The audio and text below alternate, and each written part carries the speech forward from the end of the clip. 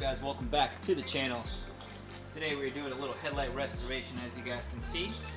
Old, new, old, new.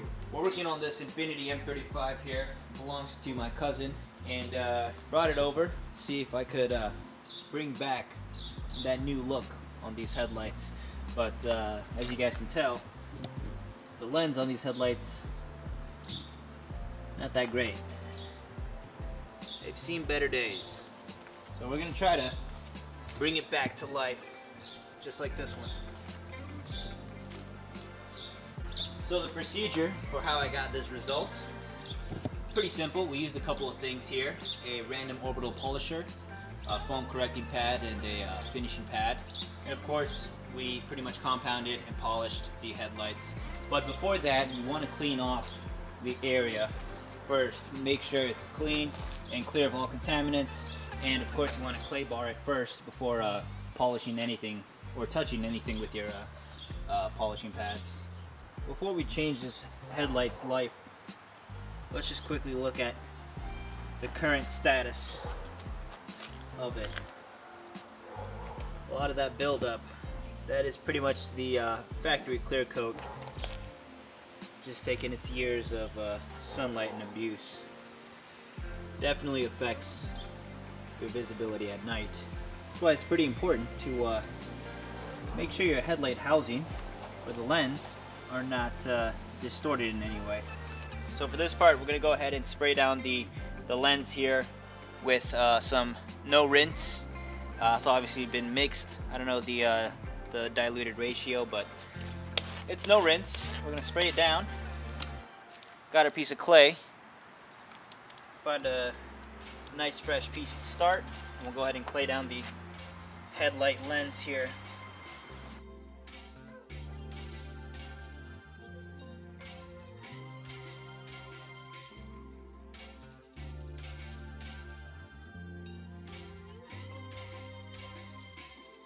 Let's go ahead and dry it out.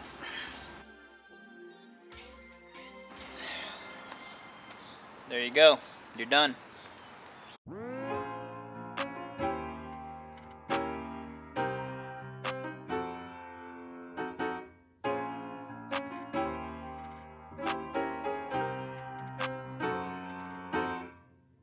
So, so far we have cleaned up the headlight. We clayed it down. I used no rinse as my claying solution. Uh, once we dried that down, I went ahead and put masking tape all around because it's a very funky angle and know I'm going to be uh, spraying everywhere on. So it'll help and make cleaning a lot easier. So as for our tools, we have here the random orbit. I'm using a Griot's Garage correcting pad and Meguiar's 105 as our compound. Uh, this stuff is pretty abrasive. This is also very abrasive. So maybe one or two passes, uh, anything more than that, you are uh, you're risking the clear coat there.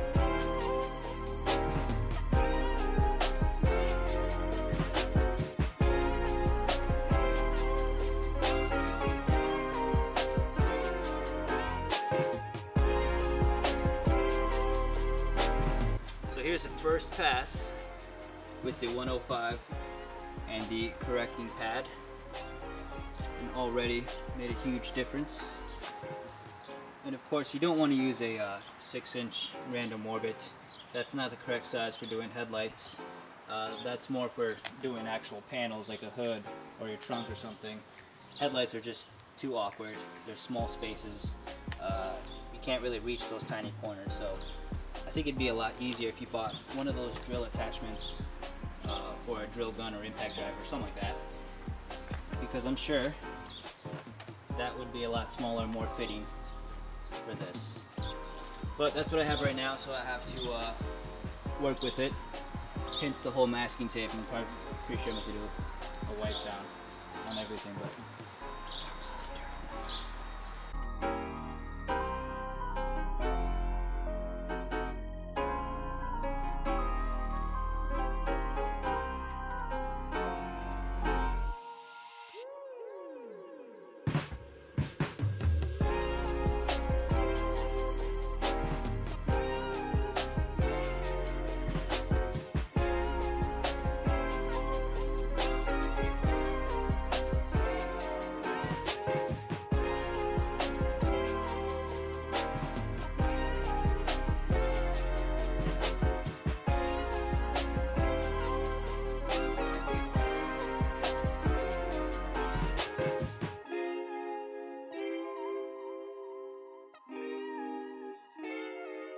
And there you have it.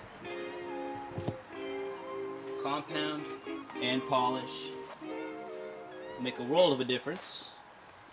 Now this is the part where I would uh, throw on that protective layer since we uh, we kind of wiped down a bit of the original clear coat here. Um, but I'm going to go ahead and leave it as is. This will probably last us a few months to a year maybe. Maybe, of course, you want to put some sort of clear coat or some sort of UV protectant just to prolong the life and so you don't have to do this procedure again. And of course a reminder, the 6 inch uh, random orbit, not ideal for headlights. Pick yourselves up the attachments that they have for uh, drill guns. Those are much more fitting for uh, headlights.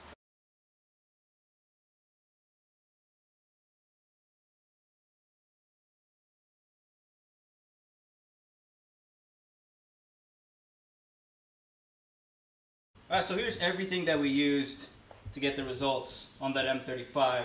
Uh, now remember, I don't recommend using uh, this dual action random orbit uh, polisher because it's a 6 inch one. Way too big. The pads just, just won't work guys. Headlights, they're small areas. Much, much better to get those attachments for your drill gun or impact driver. Uh, way smaller, way more appropriate. Unless you could change the head on this one, but 6 inches is just absurd you're not going to get all those corners and crevices.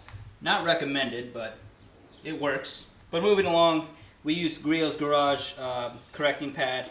We finished it off with uh, Griot's Garage finishing pad. And real quick, just wanted to show you what it looks like when you don't maintain your pad. Uh, I'm not sure what I'm going to do with this. I'm going to try to wash it, see if I can get it back to life, but no bueno.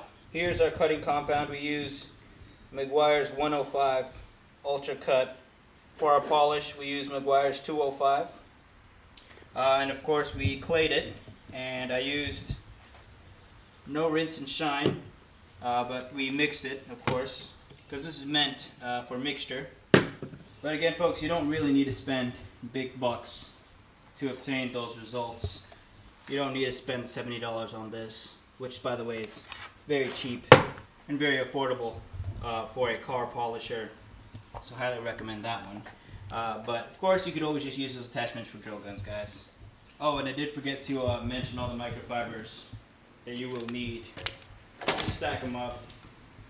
Don't even worry about where you place them or anything. Let them fall to the ground, actually. And a reminder, folks, to always clean the area with isopropyl alcohol to clean off any remaining compound uh, before you do your polish. Just a little reminder to make sure your workspace is clean and you don't contaminate different products. That is going to do it for today's video, folks. Hopefully you guys learned something out of it. Now I'll catch you all on the next one. Don't treat your microfibers like that.